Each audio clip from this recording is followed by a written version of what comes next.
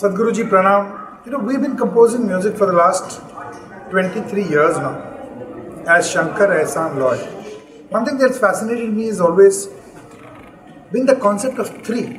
I see the association of the number three with various aspects like neutron, proton, electron, Brahma, Vishnu, Mahesh, and uh, you know we are also three of us composing music. So, what is the relevance of three?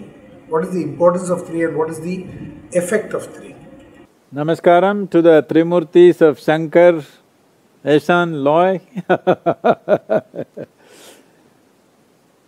well, there are Trimurtis, Trinetra, Trishula, Trikala. All these things are evolution of ideas from the fundamental experience of human life. All human experience is rooted in these three things our memory belongs to the past which is called as the Bhutakala. Our experience always is Vartamana or the present and our imagination and aspirations are always of the future which is Bhavishya. So essentially, human experience of life happens between memory, experience and imagination. Based on this, many aspects which spring from these three experiences were crystallized in our culture as three Trinetra, Trikala, Trishula, and all of and you guys, Trimurtis. So this fundamental needs to be understood that all these three dimensions exist in Vartaman.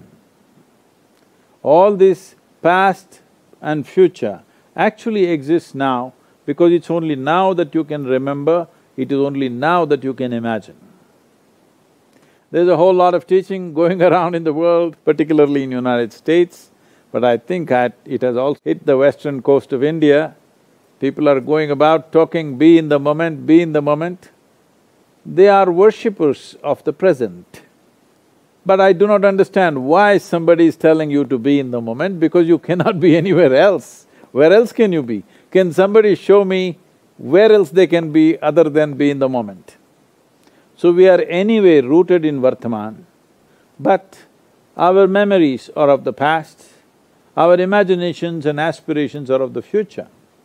So essentially, people who worship only today, people who worship only the present, they are telling you just be in the moment, do not think about the past, do not think about the future.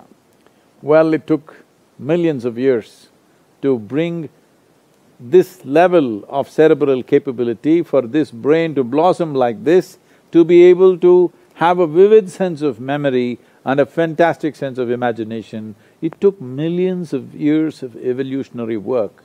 But today, somebody is telling you, let's junk all that and be like a earthworm. I have nothing against earthworm, it's a very eco-friendly creature. But all this evolutionary work that has happened upon us to bring us to this level of cerebral capability should not be surrendered to some simple philosophy. The reason why people are saying this is because the only two fundamentals of people's misery is just this. People can suffer what happened ten years ago. People can suffer what may happen day after tomorrow already.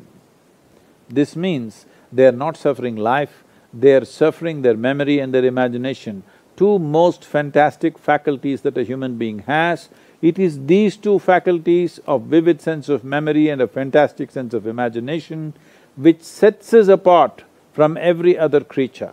This they want to surrender because they don't know how to handle their thought and emotion if you could joyfully remember and with great exuberance and ecstasy imagine things, why would you want to surrender that? It is just that your memories and your imaginations have become compulsive and they're creating a world of misery. So people are talking about how to forget the past, how to not think about the future.